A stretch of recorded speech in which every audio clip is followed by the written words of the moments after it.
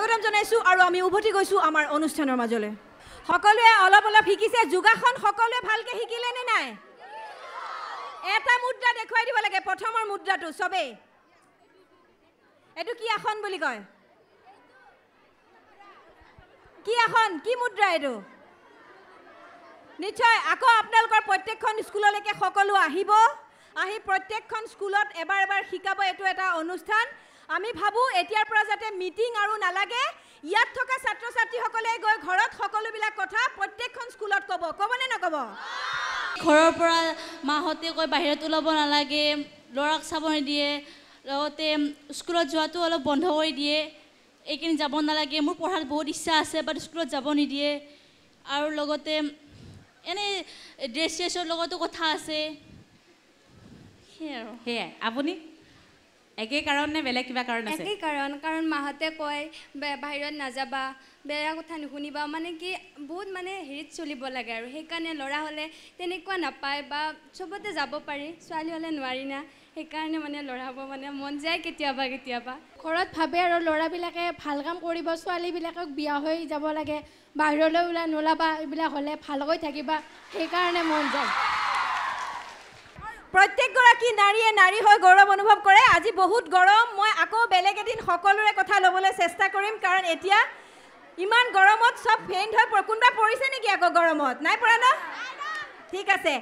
আমি আশা কৰিম এইখন মঞ্চৰ পৰা এনেকুৱা এটা বাৰ্তা যাব যিটো বাৰ্তাৰ জৰিয়তে গাঁৱৰ গ্ৰাম্যাঞ্চলৰ মফচলৰ আৰু একেবাৰে পিছপৰা অঞ্চলৰ মহিলাসকলকো মাসকলক আইতাসকলক ছাত্ৰ ছাত্ৰীসকলে বুজাব যে মাহেকীয়া ঋতুস্ৰাৱ এটা অসুখ নহয় এয়া ভগৱানৰ অভিশাপ নহয় য'ৰ পৰা সৃষ্টি হয় সেয়া কেতিয়াও অভিশাপ হ'ব নোৱাৰে।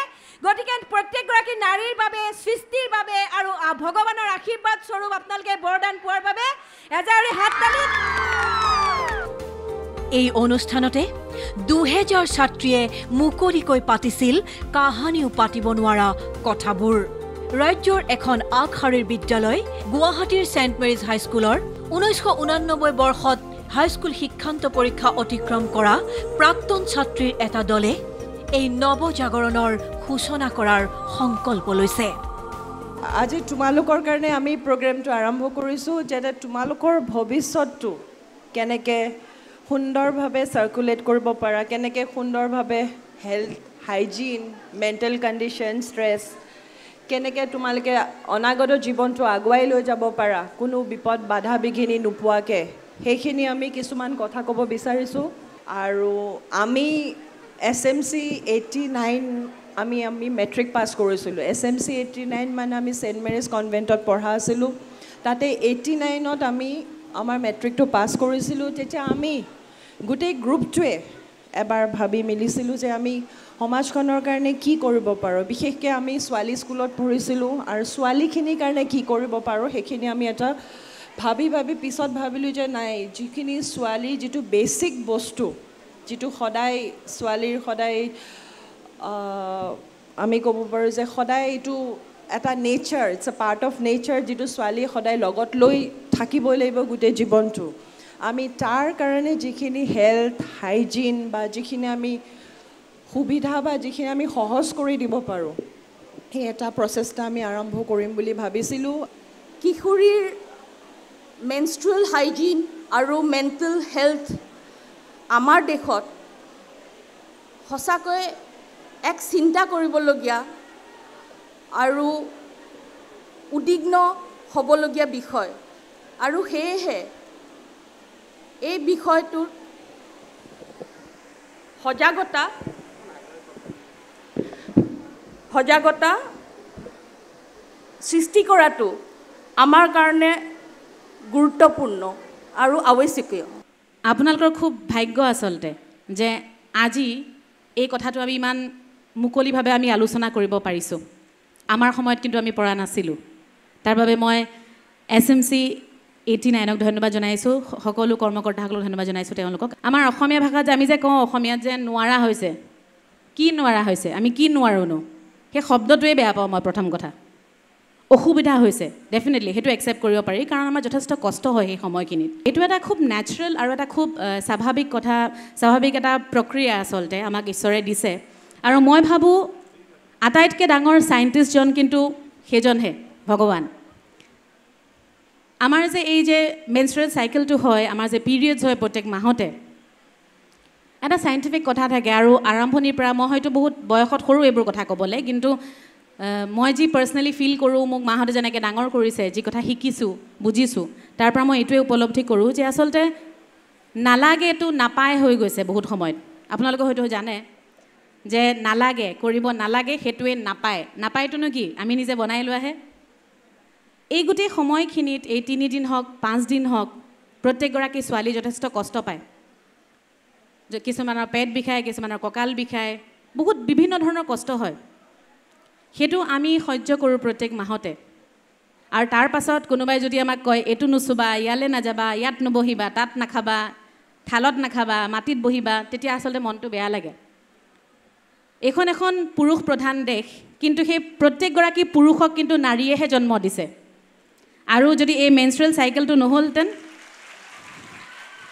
এই মেনষ্ট্ৰুৱেল চাইকেলটো যদি নহ'লহেঁতেন সেই পুৰুষজনো জন্মই নহ'লহেঁতেন গতিকে আচলতে লাজ কৰিবলগীয়া কথা একো নাই আহ, গান গাবলৈ কৈছে আহ, এই মুহূৰ্তত মোৰ আচলতে এনেকুৱা এটা গান গাব মন গৈছে হম হম আগে বঢ় চলে তুম जो साथ हो मेरे हम हम आगे बढ़ चले तुम जो साथ हो मेरे हर गम, मिलके बांट ले दम दम साथ से बढ़े हम हम आगे बढ़ चले तुम जो साथ हो मेरे। ज़िंदगी है एक चुनौती, कभी बड़ी, कभी छोटी। जीवन है जो हमारा। आज ले हम दोबारा। ज़िंदगी के बाद भी हम किसी की धड़कन बनेंगे। हम हम आगे बढ़ चले तुम जो साथ हो मेरे। कुछ हम भी कर चलेंगे। बिना किए ना रुकेंगे। कभी किसी को हो ज़रूरत, न पीछे हम हटेंगे। दिल जो बोले वो करे हम, बस आगे आगे बढ़ चले हम हम हम, आगे बढ़ चले तुम, जो साथ हो मेरे। এই ফাৰ্ষ্ট দুটা লাইন একেলগে গাব পাৰি নেকি হম হম আগে বঢ় চলে তুম যো সাথ হো মেৰে গাব পাৰিম একেলগে ওৱান টু থ্ৰী ফ'ৰ হম হম आगे बढ़ चले तुम जो साथ हो मेरे वंस मोर हम तुम जो साथ हो मेरे हर गम मिलके बांट ले दम दम साथ से बढ़े हम हम आगे बढ़ चले तुम जो साथ हो मेरे। Thank you so much thank you অন্ধবিশ্বাস আৰু কুসংস্কাৰৰ বিৰুদ্ধে এক আন্দোলনৰ আজি ইয়াত পটভূমি ৰচিত হৈছে। আৰু এই পটভূমিৰ পৰাই ইয়াৰ পৰা বেজেৰা এই মঞ্চৰ পৰা এক বাৰ্তা দিবলৈ চেষ্টা কৰি থকা হৈছে যে নাৰী হোৱাটো মহিলা হোৱাটো মাহেকীয়া ঋতুস্ৰাৱ হোৱাটো অসীম আশীৰ্বাদ হয় অভিশাপ নহয়। এই অনুষ্ঠান অব্যাহত থাকিব। এটা সৰু বিৰতি লৈছোঁ।